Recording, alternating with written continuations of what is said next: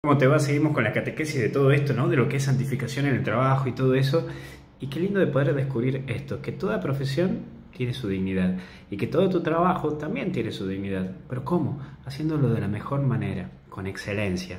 Y es a eso lo que te invito, que trates de hacer con excelencia lo que tengas que hacer. Si tenés que atender a un paciente porque sos médico, con la buena cara, con la sonrisa, poniéndole la buena onda.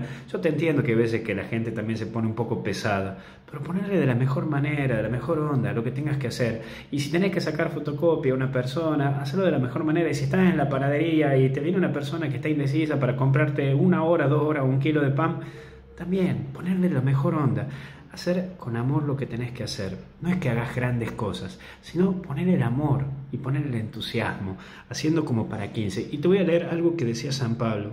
Nos afanamos trabajando en nuestras propias manos. Y a los de la iglesia de Tesalónica escribe, ni comimos pan de balde a costa de otros, sino con trabajo y fatiga, trabajando noche y día, para no ser gravosos a ninguno de ustedes. Tenía impreso en su corazón esto, laburar, ofrecerle todo a Dios y hacerlo con mucho amor a Dios.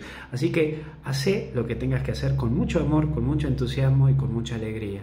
¿Qué opinas si hoy lo que tengas que hacer de laburo, aunque sea en tu casa encerrado, hacelo con una actitud de sonrisa, aunque sea frente a la computadora o a tu celular?